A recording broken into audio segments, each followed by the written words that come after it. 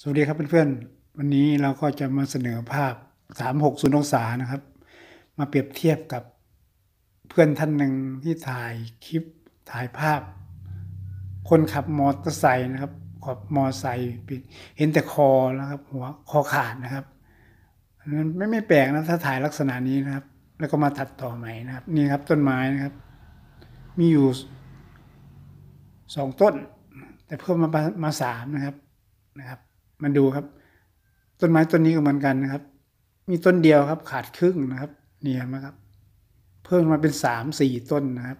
ไม้ต้นเดียวนะครับ ต้นไม้ต้นเดียว เพิ่มมาเป็นสี่ต้นนะครับนะครับ สังเกตดูสารนะครับ สารสารไกลริบๆนะครับ มีปกติจะมีต้นไม้อยู่สองต้นนะครับ ต้นโพนะครับ ต้นโพอยู่ขวามือนะครับ และต้นตะแบกอยู่ตรงกลางนะครับ มันเพิ่มขึ้นมาอีกหนึ่งต้นคือต้นตะแบกนะครับปกติต้นตะแบกจะมีหนึ่งต้นนะครับ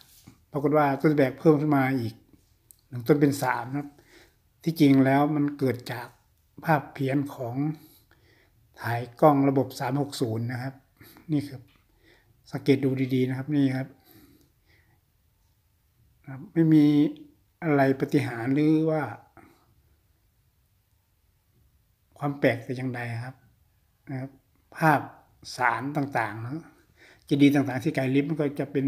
เพิ่มขึ้นมาหลายเจดีย์นะครับ สังเกตดูครับนี่ครับต้นไม้จะเพิ่มขึ้นมานะครับ เป็นเพราะภาพถ่ายนะครับนี่ซ้อนขึ้นมาหลายภาพมากนะครับต้นไม้ เพี้ยนให้กับมันเพี้ยนขึ้นมานะเกิดเกิดจากกล้องเองครับ นี่ครับนี่ต้นไม้